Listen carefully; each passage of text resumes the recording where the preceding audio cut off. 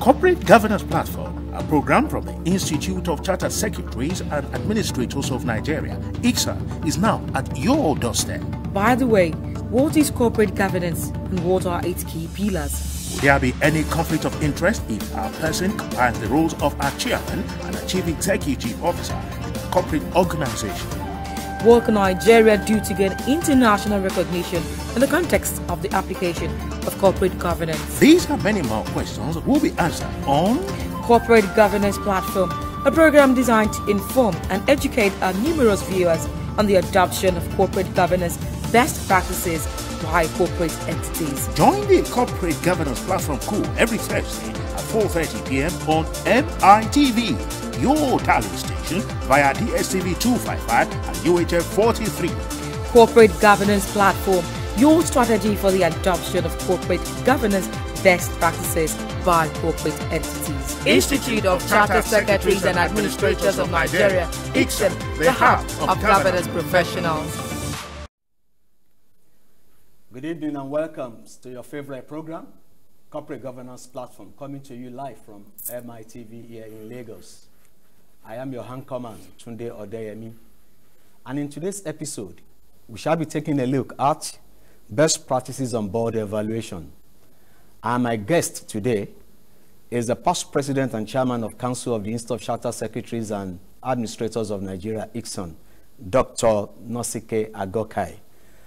Dr. Nosike Agokei is a seasoned corporate manager, boardroom expert, legal practitioner, banker, economist, corporate governance expert, chartered secretary, arbitrator, and a chartered accountant. He has diverse experience in banking, accounting, board practices, leadership and dynamics, including corporate governance induction and board evaluation, legal, administration, human resources, strategy, corporate and public affairs, and taxation, covering over 30 years.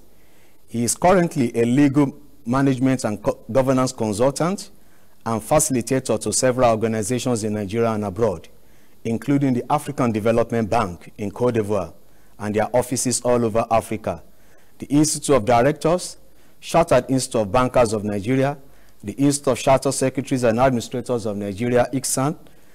Dr. Agokei was the president and chairman of Council of ICSAN between 2005 and 2007. Dr. Agokei, you are welcome to the show. Thank you very much. And thank you for finding time to join us on Corporate Governance Platform. It's my pleasure. Okay, today we are discussing best practices on board evaluation. I'd like to start this conversation by asking what is board evaluation and the purpose of board evaluation? Well, thank you very much. Board evaluation is, just as the name you know, depicts, to evaluate the board to be able to determine the effectiveness of the board. Okay. You know, the board is the highest, apart from the general meeting of the members. In terms of leadership, the board is the highest organ.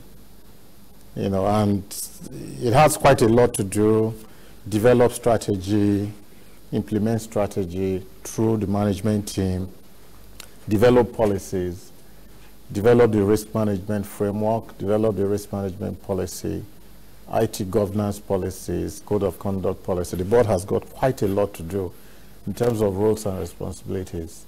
Okay. If the board does not get it right, in other words, if the board is not effective, the company is not likely to become a sustainable entity. Okay. So it's important to ensure that the board is effective from time to time.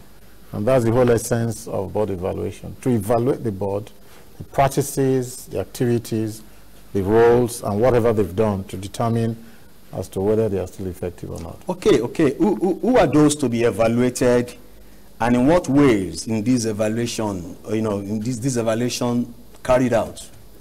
Well, those, well, very good question. You know, well, a typical board evaluation will involve evaluating the board as a whole. Okay. And also evaluating board committees, because a typical board will have board committees. Okay. And board committees are set up with terms of reference and board committee charters, okay. which will spell out the responsibilities of those committees. Okay. So there's a scope. And the third level is to evaluate each director on the board. Wow. Now, that evaluation that is done in respect of each director is known as peer evaluation. Peer evaluation. It's peer evaluation because it's every director on the board that evaluates his colleagues on the board. Wow. So, in, in a typical peer evaluation process, you also have to evaluate yourself. Wow. You know, in the past, directors were shy or were not actually bold enough to say, okay, I've evaluated myself. But it's part of the practice now that in addition to evaluating your colleagues, you also evaluate yours. Although it's, it's known as peer evaluation, and this is why many people shy away from evaluating themselves. But it makes a lot of sense to also evaluate yourself. Okay, I would like us to go into the provisions of the Code of Corporate Governance as relating to board evaluation. And I'd like to quote a section of the code that says, the board should establish a system to undertake a formal and rigorous annual evaluation of its own performance, that of its committees, the chairman and individual directors. This process should be externally facilitated by an independent external consultant at least once in three years. Now, the question is, why do you think the code specifically requires external facilitation every three years? Well, what that section of the code says actually is that companies must undertake board evaluation every year. Okay. But our companies have a choice as to whether they want to use external consultants, evaluators every year. Okay. All right. So a typical company may decide to use external evaluators every year. But the code has given them a choice as to whether they want to use an external evaluator every year or not, but that once in three years, they must use an external evaluator. Okay. And the reason is very simple. I mean, external evaluators bring objectivity and independence okay. to the process of evaluation. You know, when, when the board evaluation is done in-house, typically it's done by the company secretary or the company secretary's team. I've, I've also seen situations where an internal audit function is brought to bear on the process of internal evaluation of the board okay. and the directors. But for you to actually get the outcome, the kind of outcome that you desire, that you expect, it's important that external evaluators are brought in to evaluate entities every year.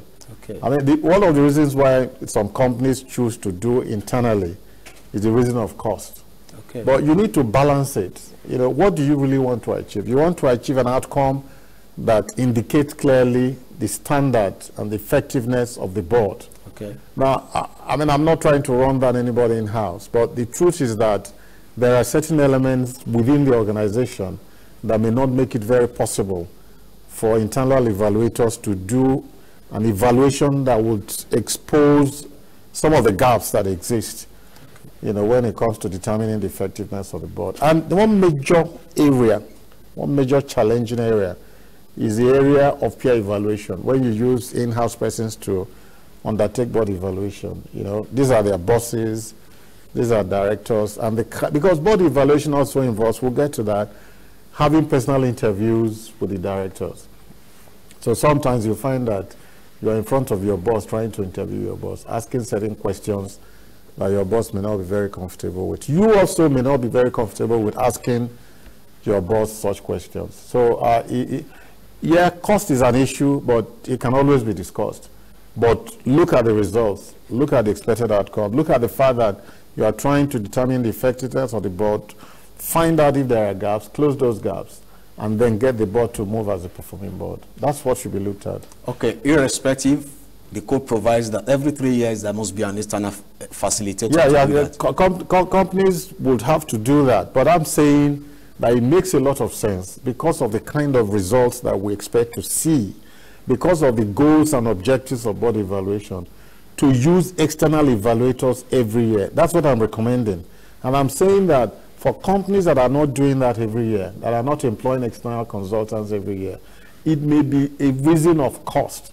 And that they shouldn't just look at the issue of cost. They should balance it. Balance cost against the outcomes. Balance cost against the results that they expect. And the fact that a, board a typical board evaluation exercise will enable the company to determine how effective the board is and then plug all the holes that exist. Okay, I would like to create a scenario here.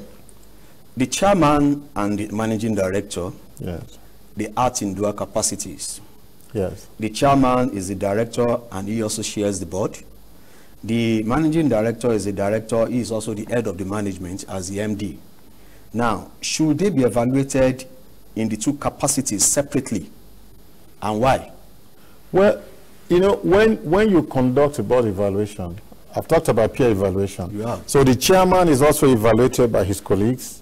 The managing director is evaluated by his colleagues. Both of them will also have to evaluate their colleagues. Hmm. In fact, the managing director will evaluate the chairman, and the chairman will evaluate the managing director. But that's completely different. I need to bring out a major point about evaluation of the managing director, because apart from the issue of peer evaluation, the code has clearly specified, and that's also in line with international best practice, that the chairman of the board must assess and evaluate the managing director. And apart from the fact of peer evaluation, and that evaluation can only be done if certain targets have been set. Okay. All right. So what you find is some boards would conclude that once you have an assessment of the management team, you've evaluated the managing director. No.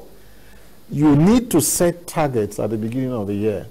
The board now will need to set targets against which the chairman will have to evaluate the managing director. The managing director will also have to evaluate the executive directors who report to him. Wow. So the managing director must be evaluated. He has quite a lot to do in ensuring that the board is very effective. Don't forget that a lot of what the board has responsibility for will be delegated to the executive management headed by the managing director. So you need to evaluate the managing director's performance to determine that he's also effective to be able to support the board for the board to deliver, you know, on the mandate that has been given to the board. Again, the chairman has got quite, and this is why I say that, you know, the chairman should not necessarily be the longest serving director. Okay. All right. You need someone who has got the skills to run a board, who has got the skills to run the dynamics on the board. Because board dynamics is critical to the success of, of board proceedings and whatever the board desires to do. All right. So the chairman, because he has a lot to do, he should also be evaluated to determine the fact that the chairman is still effective and can continue to lead the board effectively. Thank you very much. We'll go for a very short break. When we come back, we continue our discussion on best practices on board evaluation. Please don't go away. Corporate Governance Platform, a program from the Institute of Chartered Secretaries and Administrators of Nigeria, ICSA, is now at your doorstep. By the way, what is corporate governance and what are its key pillars? Will there be any conflict of interest if a person combines the roles of a chairman and a chief executive officer in a corporate organization?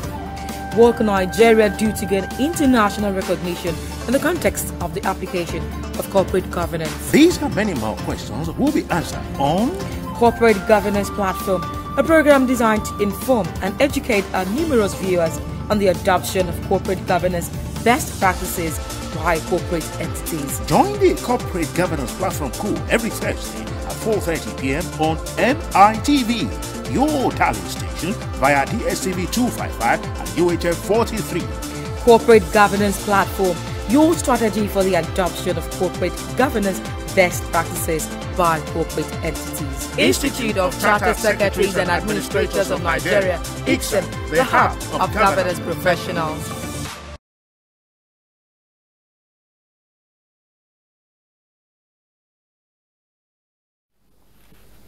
You're welcome back. It's the Corporate Governance Platform coming to you from MITV. And we are discussing best practices on board evaluation. I still have with me here in the studio Dr. Nosike Agokei, leading the conversation on best practices on board evaluation. Before we went on break, we were discussing the chairman and the Managing managing director's evaluation. I'd like to extend it further to the shareholders. Now, should the external stakeholders, such as the key shareholders and, um, you know, shareholders association, not be involved in the evaluation of the chairman since he presides at the annual general meeting? If yes, how should this aspect of evaluation be better handled?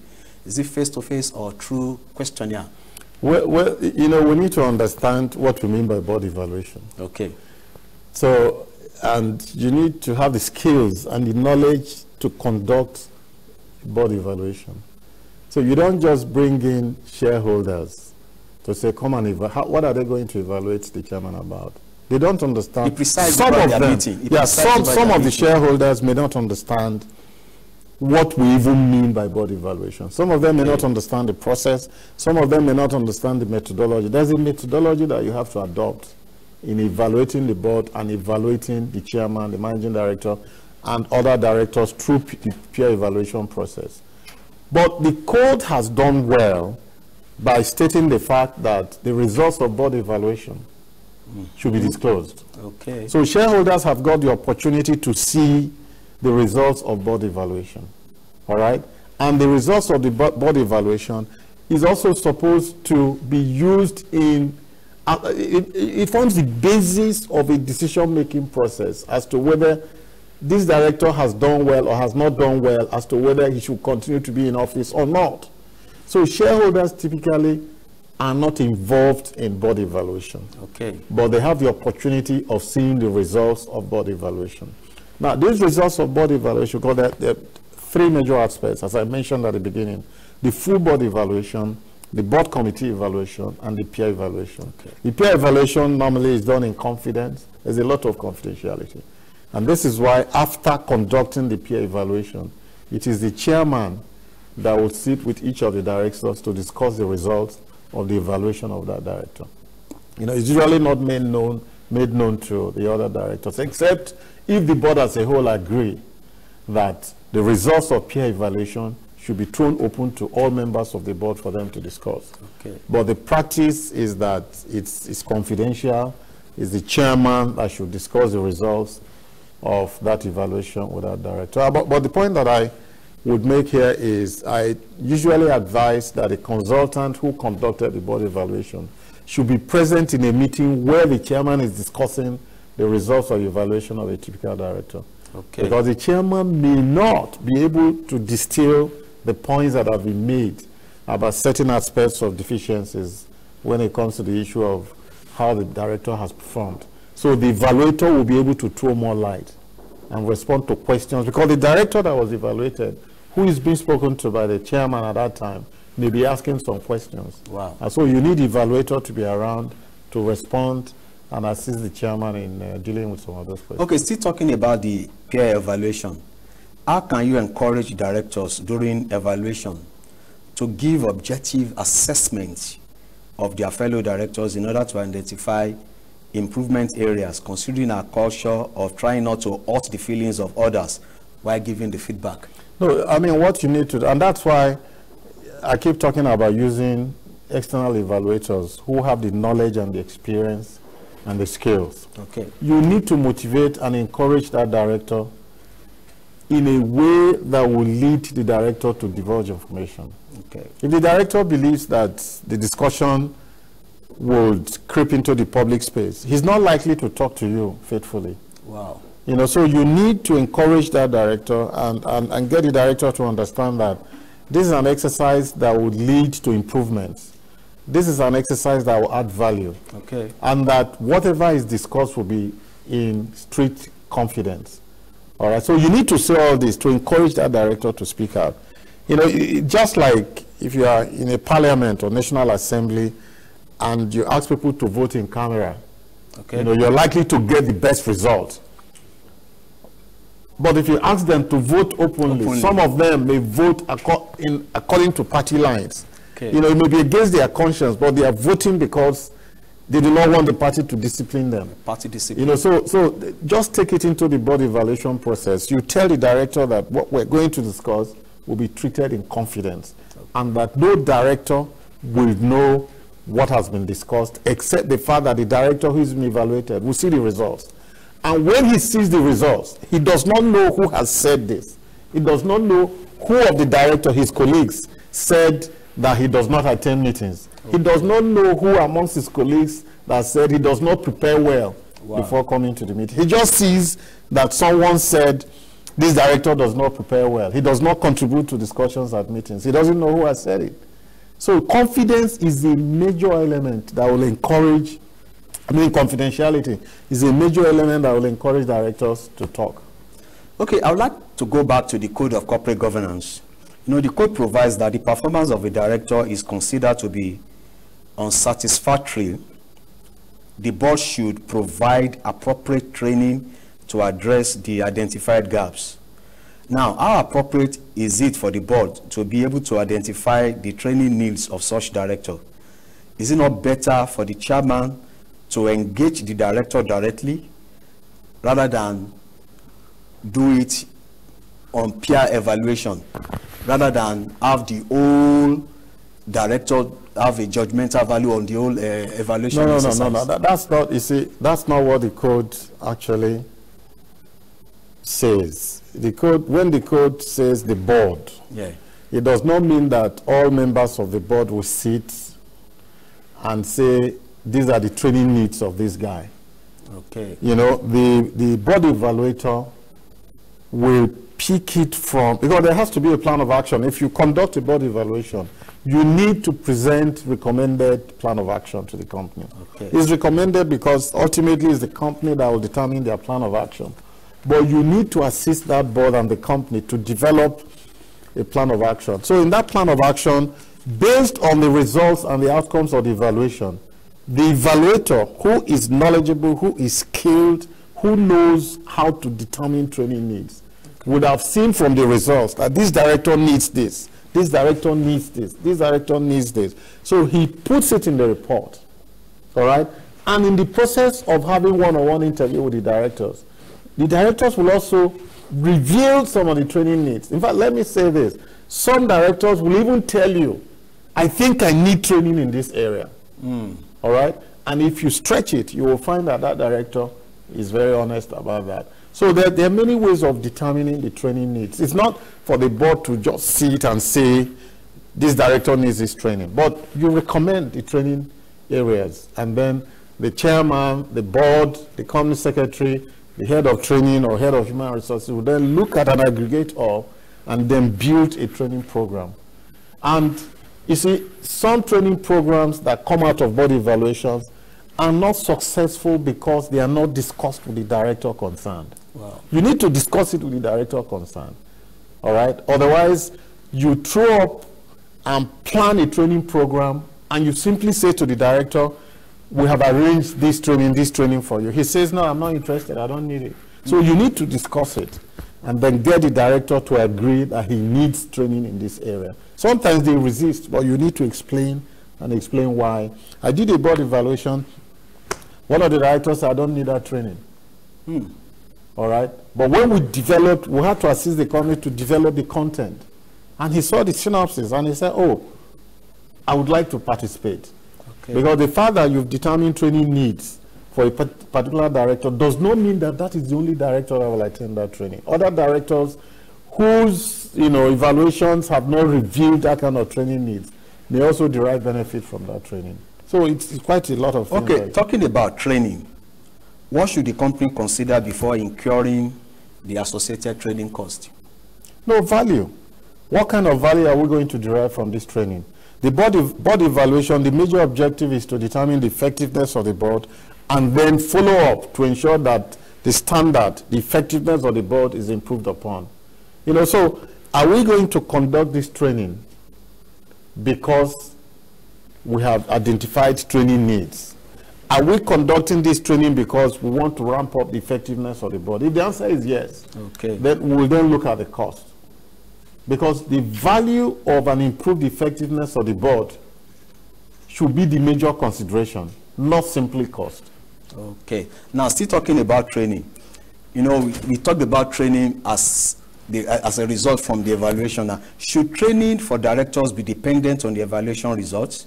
Should it not be mandatory for directors to attend some mandatory trainings annually? For example, corporate governance training and those relevant to the business of the company? Well, uh, that, that's, that's a very good question. You see, you develop training needs from the board evaluation, okay. all right?